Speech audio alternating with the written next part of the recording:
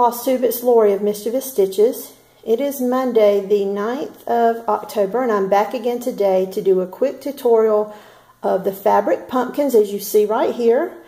Um, I'm going to show you what you need. To start off with, you are going to need around a half yard of fabric. I chose this fabric here. Um, you're going to have leftover. That's okay. You may be able to get by with a quarter length, um, quarter yard of fabric, but I'd rather have too much than not enough. So this is the fabric. You're going to need a pair of scissors, a sponge, um, a sponge brush, Mod Podge, a pumpkin. Whatever size you want is really going to dictate how much, how much fabric you need, but you're going to need a pumpkin and a floral pick. This is actually one floral pick and I took it apart, took all of the fabric tape, I mean the fabric, the floral tape off of it so that I would have individual picks. So I'm going to sit down and we're going to get started. I've already worked on this a little, little this morning. Um, as you can see, you're going to start off when you have just the plain pumpkin, you're going to start off by pulling out the stem. So you need to make sure when you're pulling it out, you're doing it gently. You're just kind of twisting gently, tugging a little. Because as you can see, there's teeth here. And if you pull it out, yank it, you're going to get a chunk of your pumpkin along with it. Because this is just foam. So be gentle, wiggle, twist like you would um, the stem off of an apple. Uh, that's what you're going to need to do. But you're going to leave that out. And then you're going to put down a piece, I found that wax paper works really well. So put down a piece of wax paper um, to apply the Mod Podge to your strips.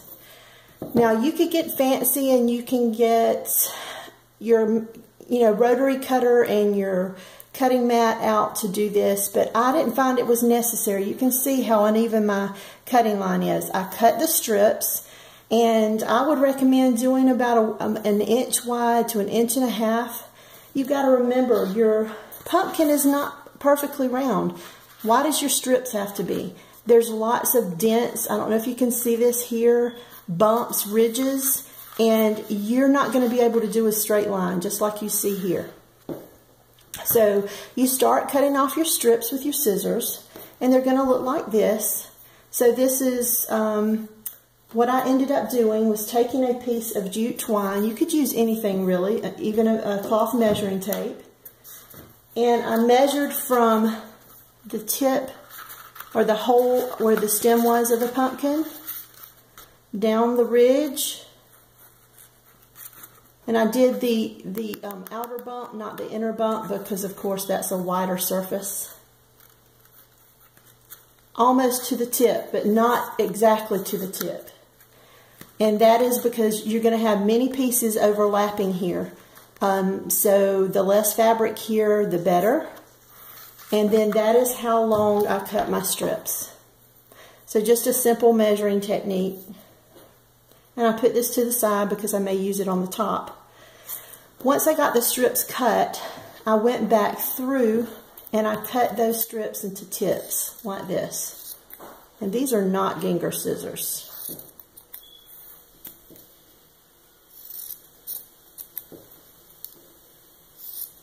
And so, of course, that gave me a strip with points on both ends.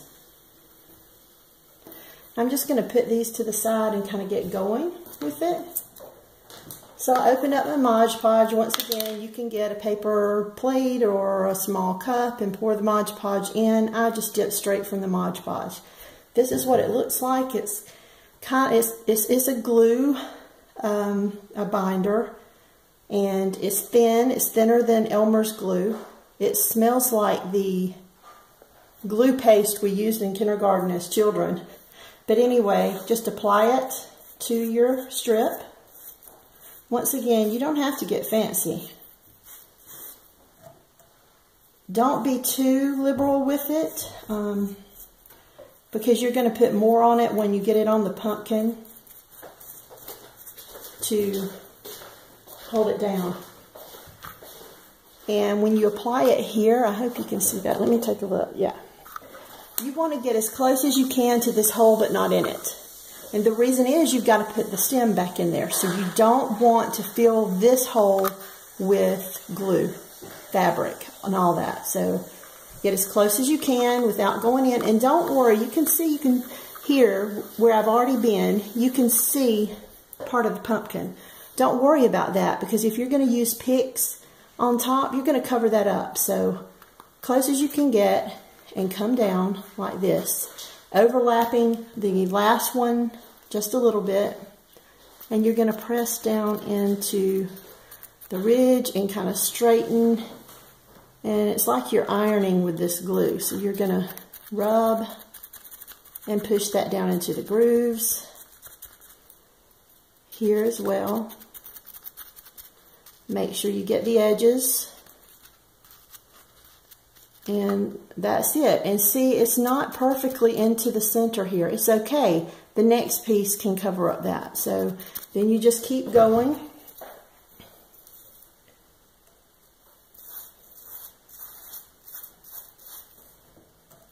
And as you can see, I did this maybe 30 minutes ago. And see how it looks here from what I just did? It's already drying. And there are some spots that is not completely dry. And that's where maybe I used a little more of the Mod Podge than I should have.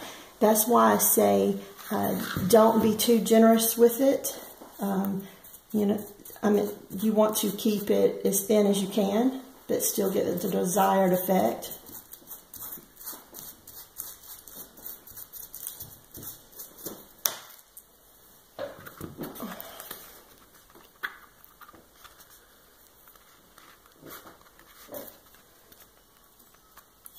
So then push this down. I like to use the edge of this because there's like a plastic um, piece inside uh, that works really well in getting in these ridges. And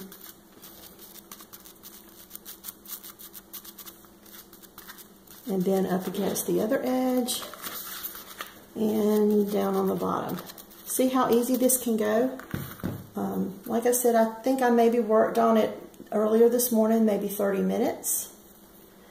And two, depending on the width of your strips, you can go a little quicker. Bigger strips, you're going to cover more surface area. Um, and also, I was thinking today while doing this, you don't necessarily have to do strips. Um, wouldn't it be cool to have like a patchwork pumpkin using squares or just scraps of fabric? They're all going to be overlapping. So it really doesn't matter um, how they look once they get on there as long as you've got them smoothed out. And see right here, you've got a wrinkle. You can just gently pull this back up and rearrange it. And be careful when you do that. When you pull one from the bottom, you've already kind of laid down. If you're not careful in pulling it up, you're going to pull up one or two to the side. Um, word to the wise, I've done it. So... So there you go. That's it. And I will tell you this Mod Podge gets all over you. I mean, you see it all in my fingertips. Um, it sticks really good. You're going to need something to um, scrub all of that excess Mod Podge off your hands when you're done. Um, I recommend a sugar scrub from Rags to Stitches USA. we made that one night at a craft night about a month ago. Um, Lorraine had us make it, and when we made these pumpkins, the only thing that would get all that Mod, excess Mod Podge off of our hands was Lorraine's sugar scrub. So now see, I think I've got a little too much Mod Podge here but just kind of swipe off as much as you can. We've got all the uh, wrinkles out and just keep going.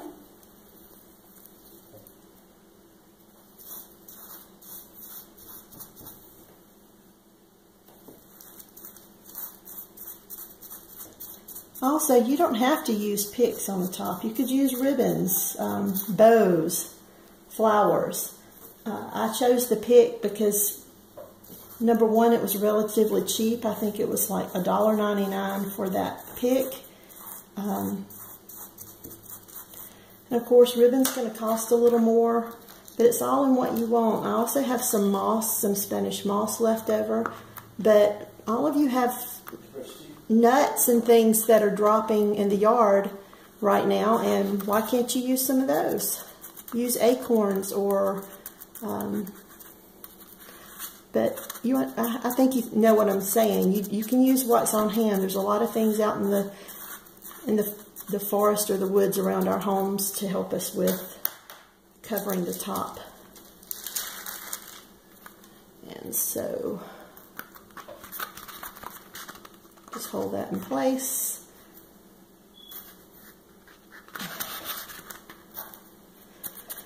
And I think Marlene had asked me about the bottom of the pumpkin and how it looks. You can see here that the pumpkin is indented, and you know, it's made that way. And with even with these overlapping pieces of fabric, it is not causing a bump down here. Uh, someone else asked if I had put anything on the bottom, um, like a circular felt piece or something, to cover up where everything meets. And no, I didn't. It looks just like this.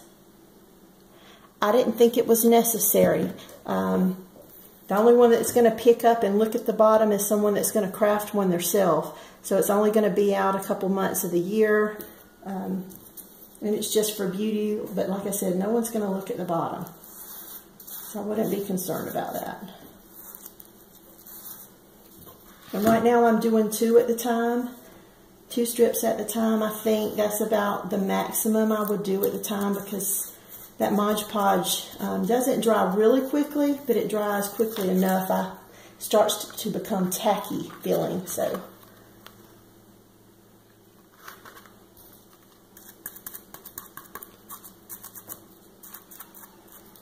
All right. And you see earlier where I had the big gap in the bottom with the piece that did not meet up? It's covered. Like I said, it's, it's perfection doesn't work here because this is not a perfect situation with this fabric and this pumpkin. Just like we're only going to have one more. So again, doing the sides, the top, these applicators, I can't imagine a brush, like a paintbrush, doing as, as well of a job as this. So that's why I use this. And like I said, that plastic piece inside works really well with pushing down those edges and getting out creases.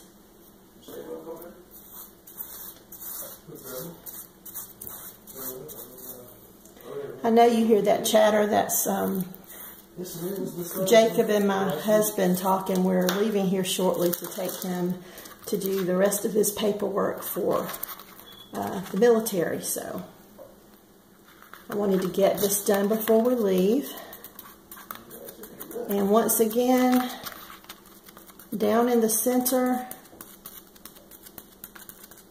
covering up, just give it a once over, make sure there's no Oh, see right here, I've got a piece of pumpkin showing, so I'm going to cover that up. And even though that's a spot I did before, just know too that as the Mod Podge dries, it's gonna, the fabric's gonna shrink up just a tad. Just, hold on just a minute. All right. So here I want to cover this up. Oh, and I need to put some more Mod Podge there. Now look at me.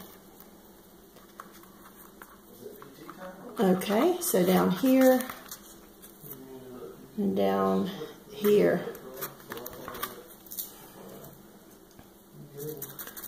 All right, and then we're going to recover that to cover up the the um, issue from earlier. And Push down those new edges. And see where I'm already pulling off. You have to be real careful with, um, two, in the areas you've already done is picking the fabric up with your fingers as you move it. So I would recommend maybe doing a quarter side, uh, letting it dry, come back doing another quarter. So as you handle it like I just did, it picked up this piece of fabric. Um, but that's it. So it, it is done.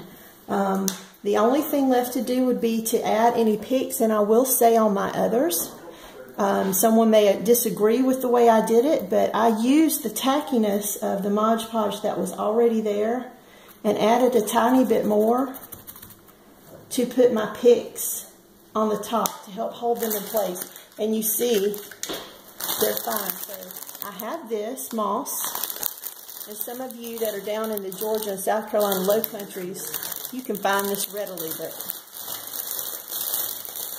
and this makes a big mess. so just take this and pull this apart like this. There's a twig, want that out of there. And it's going to drape the way it wants to, so I'll just put this on the top. And then choose a couple of the picks that I know I want to use, and I want to um, match. You have the berries here in the fabric and the green. And I actually used the hole, the stem hole, to help with that. But these are not my fabric scissors, so don't worry. Um, I'm going to bend it and put it right at the edge along with these.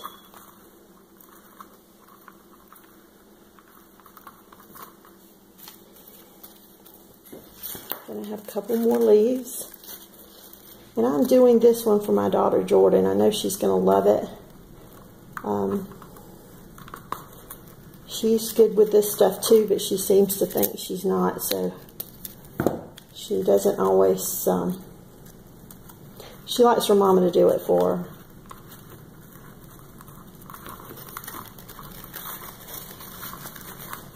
So you've got that. And I'm going to put some of the berries maybe the acorn. I like the acorn better. I mean, acorn. The uh, pine cone better. And then I'm just going to push this down. And as I said, I'm using the Mod Podge that's still tacky as well as the vine to hold that in. And so this is the pumpkin. So you can just play with everything, adjust it how you want it, um, spread things around, add something more, take something off. It's all up to you. I hope you use this tutorial and that you enjoyed it. Um, if you do decide to make one this weekend, be sure to, to post it on Instagram and tag me. I'd love to see it. Have a great day. See you next weekend. Bye-bye.